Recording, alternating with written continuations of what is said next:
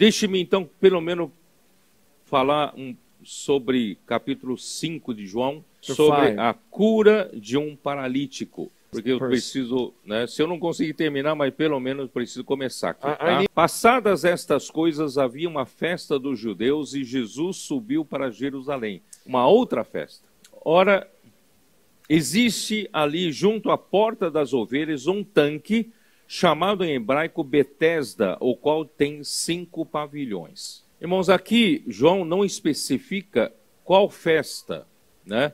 Mas, irmãos, todas as festas entre os judeus foram instituídas por Deus e têm o seu significado espiritual profundo. No entanto, por falta da revelação, ao longo dos séculos, os judeus tornaram aquelas festas meramente um ritual religioso, sem realidade espiritual. Vocês perceberam que João ele usa essas ilustrações para mostrar o que ele quer mostrar. João queria mostrar o contraste entre a religião morta com o poder da vida. E a religião judaica, irmãos, é a religião mais genuína de, dentre todas as religiões, porque é uma religião né, que veio, foi formada em cima, com a base na palavra de Deus, nos mandamentos de Deus, nas suas leis, mas com base justamente nos mandamentos rituais das leis cerimoniais e as ordenanças, os judeus formaram a religião mais legítima dentre todas as religiões. Todavia, irmãos, a religião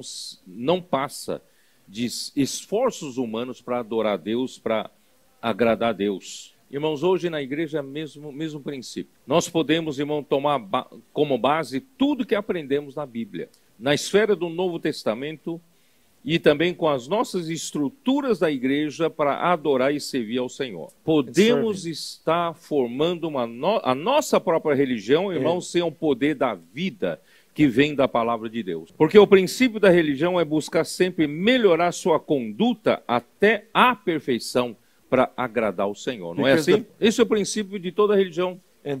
Sempre procurar melhorar sua conduta. Vamos tentar chegar a alcançar a perfeição para poder agradar ao Senhor. Mas Deus quer dar Cristo para que para o homem como vida que cura e que transforma de fato as pessoas no seu interior, na sua essência. Não é um melhorar o comportamento exterior, levar ao homem a uma perfeição exterior. Deus quer usar Cristo para transformação interior, trazer através da vida por meio da sua palavra. Então, as festas, irmãos judaicas, ficaram sem sentido. O sentido espiritual é que agora foi, eles foram introduzidos na boa terra de Canaã.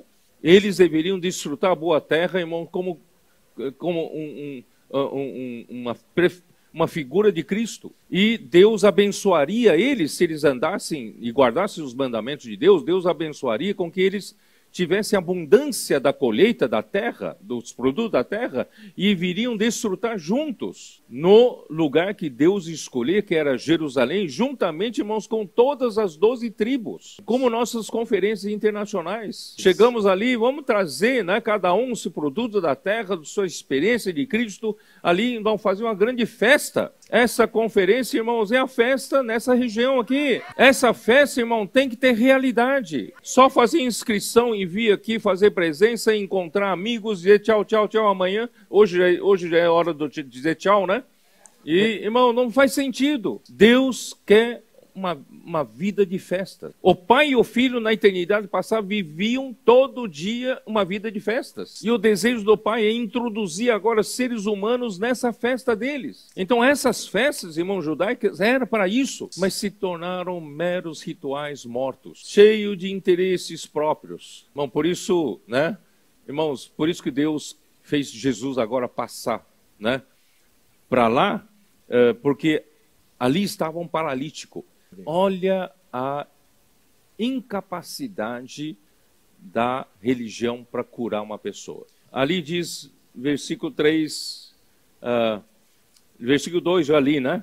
Ora, existe ali junto à porta das ovelhas um tanque chamado de hebraico Betesda, o qual tem cinco pavilhões. Nestes jazia uma multidão de enfermos, cegos, coxos, paralíticos, esperando todos esses essa multidão de enfermos, cegos, coxos, paralíticos estão esperando o que lá? Todo mundo ali, né, deitado ali, jazendo, incapazes, não, né, todo mundo doente. Estão esperando o quê? Esperando um anjo.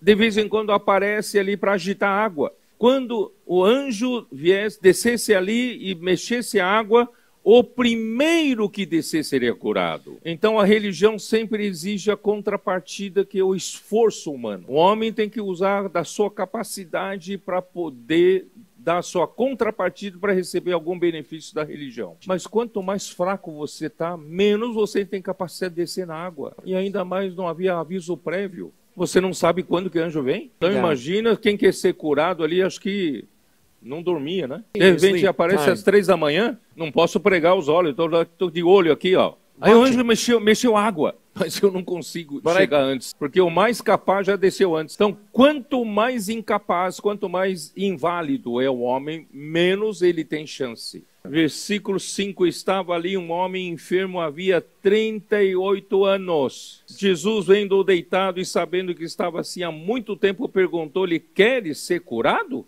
Respondeu-lhe o enfermo: Senhor, eu não tenho ninguém que me ponha no tanque quando a água agitada, pois enquanto eu vou, desce outro antes de mim. Irmãos, a religião é assim, é muito limitado. A religião judaica é a única religião que tem por base nos mandamentos e tem anjo. Mas mesmo assim não consigo, eu não consigo ser ajudado. 38 anos desse jeito. Estava fadado a morrer assim. A religião não me ajuda, não me dá vida. Graças a Deus, Jesus veio. Jesus perguntou para ele assim: queres ser curado? Aí, versículo 8: Então lhe disse Jesus: Levanta-te, toma o teu leito e anda. Vocês perceberam? Se você ama a palavra de Deus, se você crê que a palavra de Deus é que efetua a cura e faz a obra de Deus, você percebeu, segundo o relato de João, que toda a palavra que Deus, que Jesus fala, não é para formar um repertório de doutrina na sua cabeça? É para da sua parte precisa ter uma reação de executar imediatamente o que ele fala. O que, que ele falou? Levanta-te. Então, paralítico tinha que reagir levantando-se. Não sei se você você está me entendendo, irmão. Toda, toda a palavra de Deus exige uma ação sua. Mas não é esforço, mas crer e executar conforme a palavra. A palavra de Deus, irmãos, é para fazer a obra de Deus. Então, quando Jesus fala, ele capacita você a executar. Levanta-te, toma o teu leito e anda. Imediatamente o homem se viu curado e, tomando o leito, pôs-se a andar, e aquele dia era sábado. Ó oh, Senhor Jesus. Oh.